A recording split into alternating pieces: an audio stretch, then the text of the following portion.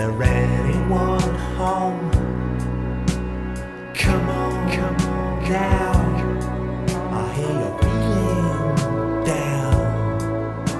Well, I can ease your pain, get you on your feet again. Relax. I need some information first.